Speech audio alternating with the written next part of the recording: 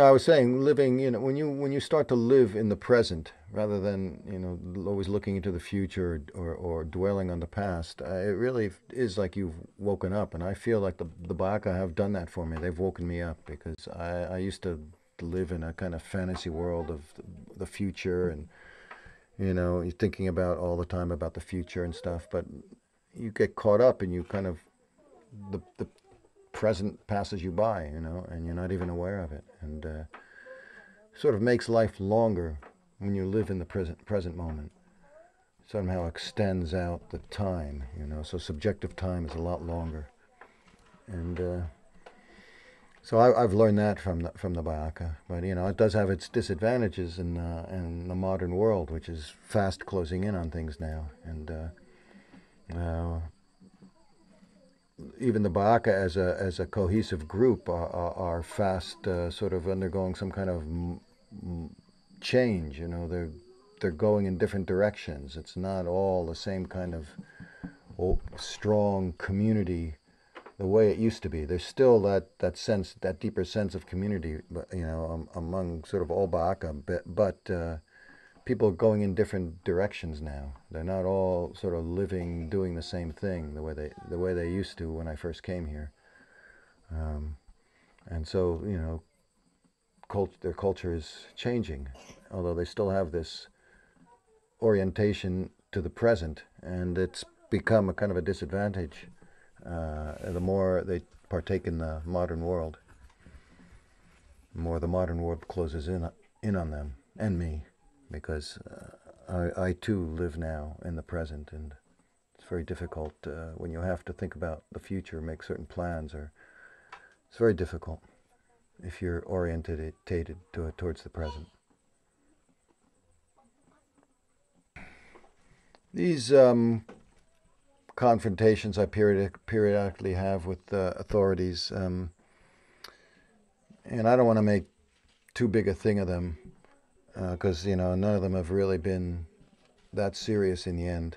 I mean, I, a couple of high points were when, or low points in terms of my relations with the authorities, are when I wanted to move the Ba'aka away from the sawmill and from the town of Bayanga and, and, and uh, just a just a couple of kilometers really, just across the the, the, the Kenye stream and, and up the hill and and, and, and then a kilometer or so down the road. Uh, so I had a problem because the mayor didn't want it, and most of the Bayanga population didn't want it because they were.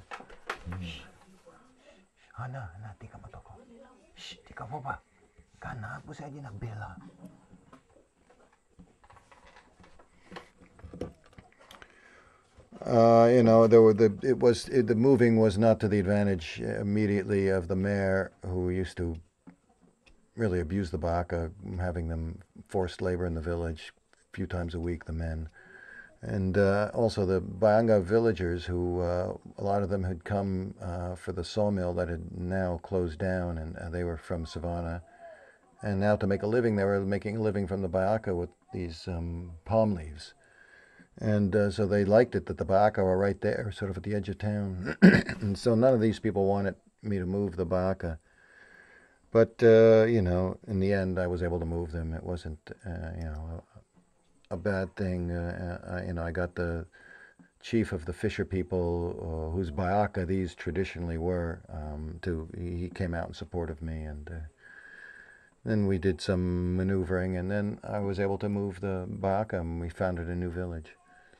And I've had a few other times when I've had been arrested or something by by the authorities, but really it's not a serious thing. Um, I've been living here now 22 years, and uh, you know I've been in the jail once for a couple of hours, and I've been arrested a few times, and uh, you know always released, you know allowed to go back to my own house even when I'm under arrest, and the arrests have never really lasted that long, and I would say I've been received pretty well here, you know, and uh, I mean, you know, you think about um, Amadou Diallo from Guinea who went to the United States and, you know, was shot 47 times by the New York police, uh, just sitting on the porch in front of his house. And, I mean, compared to that, I mean, here I am, uh, 22 years later, and I'm a citizen of the Central African Republic. I have dual nationality. I'm, I have uh, my American nationality and Central African Republic nationality. So I mean, there's quite a difference in uh, hospitality, I would say, between the two countries and the two cultures. And so the small problems I've had with the authorities is not really, a, for me, a serious thing. You know, it's just part of life here. And you know, when it's happening, I, it's a drag. But you know, when it's over, it's something to tell a story about. Uh, I would say more the the more bigger, pro- more serious problem is what the immigration to this area is doing to the Bayaka, and the relations between the Bayaka and the um, and the Bantu, who are mostly uh, immigrants uh, to this region from areas uh, farther north, mostly the savannah. And that's a much more serious uh, kind of problem that's uh, going on, and more unstoppable in a way. uh, the immigration, anyhow it's sort of a demographic movement, really, and uh, those are very mm, hard to reverse.